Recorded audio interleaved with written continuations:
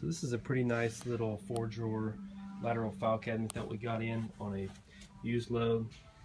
Closeout load. It's got some dings and stuff on it here and there, but it's in pretty good shape overall. Has the keys in the row. It's 30 inches wide. Um, top drawer has a little issue. You have to kind of push the right side to get it to close. I guess the lights will get it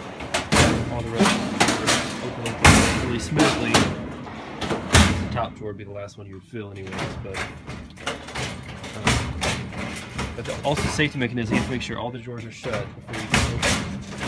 Um, the other ones, top drawer is a little sticky, it needs some work. If you're interested in this, no, we're discounting it down pretty good. It's not $200. I think we're selling it for 99. so give us a call.